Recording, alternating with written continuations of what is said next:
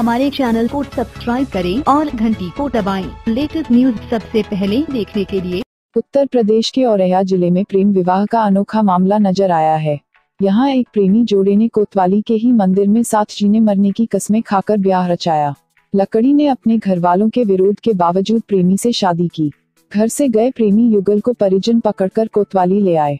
यहाँ प्रेमिका प्रेमी के साथ रहने पर अड़ गई तो संबंध खत्म करने की बात कहकर परिजन चले गए। इसके बाद प्रेमी युगल ने कोतवाली के मंदिर में शादी रचाई। पुलिस ने दोनों को आशीर्वाद दिया। गाँव रौदापुर निवासी गया प्रसाद वर्मा की पुत्री लकी तेईस का दो साल से अजीतमल के गोमनिकला निवासी सोनू राजपूत पुत्र राघवेंद्र सिंह से प्रेम प्रसंग चल रहा था। राघवेंद्र की बहन की शादी लकी वर्मा के रिश्ते के भाई के साथ हुई है। जिस कारण सोनू का अक्सर लकी के घर आना जाना रहता था।